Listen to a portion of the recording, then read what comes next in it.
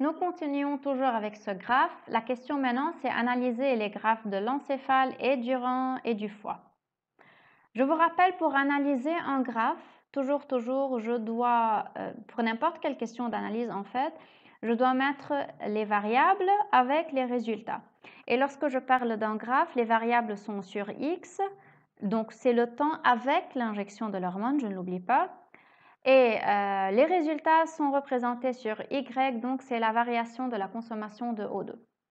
Puisque j'ai un graphe avec des valeurs, je n'oublie jamais de mettre les valeurs.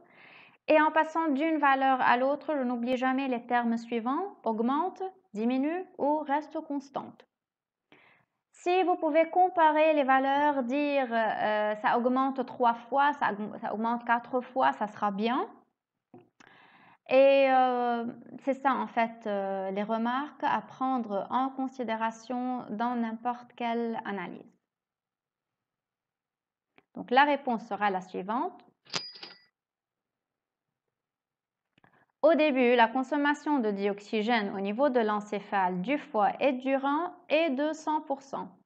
Suite à l'injection de l'hormone T3, cette teneur reste constante à 100% au niveau de l'encéphale sur les 60 heures de l'expérience. Par contre, au niveau du rein, ce pourcentage augmente progressivement de 100 à un maximum de 122% entre 0 et 60 heures. Et là, les valeurs, je sais que ça va différer un peu d'une personne à l'autre parce que le graphe n'est pas très précis puisque il n'y a pas vraiment, euh, il n'y a pas du quadrillage, donc euh, ça va différer un peu. C'est tolérable à 2% peut-être entre une personne et l'autre. Et juste une remarque, lorsque vous êtes en train d'analyser, ce n'est pas la peine du tout de prendre point par point. Lorsque vous avez, par exemple, pour le foie, une augmentation progressive, il n'y a pas vraiment des valeurs, des variations remarquables, vous pouvez prendre le premier point et dire ça augmente progressivement au cours des 60 heures pour arriver et vous prenez la valeur du dernier point. C'est clair? Lorsque vous avez une montée, puis une chute, puis une montée, c'est la peine de prendre la montée, puis la chute, puis la seconde montée. Mais dans ce cas, non, ce n'est pas la peine. Alors, je continue. Au niveau du foie, vous pouvez dire là par contre aussi, au niveau du foie, la consommation de dioxygène est plus élevée après l'injection de T3.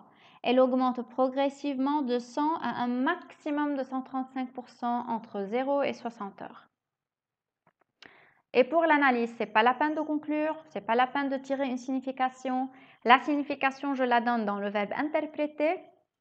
Et la conclusion, lorsqu'il me demande analyser puis conclure.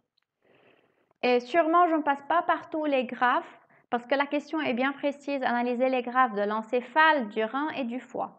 S'ils ont demandé analyser le document seulement, j'aurais dû analyser tous les graphes. C'est-à-dire, j'aurais dû analyser celui du rat, du cœur, du foie, du muscle, du rein, encéphale et testicule.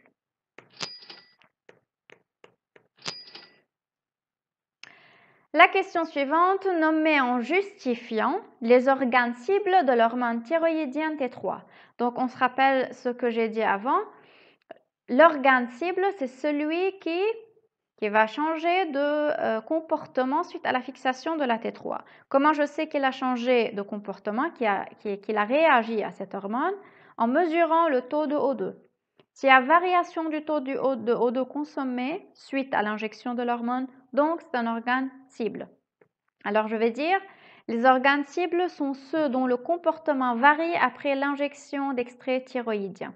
Vous pouvez également dire, sont ceux dont la consommation de O2 augmente ou bien varie suite à l'injection d'extrait thyroïdien, qui sont cœur, foie, muscles et reins. Notons aussi que l'organisme entier va réagir. Les deux organes qui ne sont pas en fait des organes cibles, dans le cas représenté dans le graphe, sont euh, testicules et encéphale parce qu'ils n'ont pas changé leur consommation de O2 suite à l'injection de T3. Et pour euh, les deux derniers documents de ce tableau, en s'appuyant sur le document E et F qui sont représentés là, Quelle information peut-on dégager? Donc, le document E, vous le savez déjà, le document F, il représente la quantité de complexes hormones récepteurs formés après injection de T3 à un rat. Donc, les deux sont liés.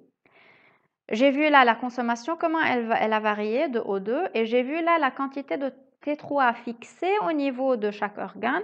Ça veut dire la quantité de complexes hormones récepteurs formés. Et j'ai bien vu qu'au niveau du foie, il y a une grande quantité de T3 fixé, une grande quantité de complexes hormones récepteurs. Par contre, au niveau de l'encéphale, cette quantité est très très faible. Si j'arrive à relier les informations de ces deux documents, je trouve que là, le foie, il a une consommation bien élevée de dioxygène, plus élevée que le rein, qui est beaucoup plus élevé que celui de l'encéphale. Et je trouve que pour la quantité de T3 fixée, le foie fixe la plus grande euh, quantité, alors que l'encéphale n'en fixe pas.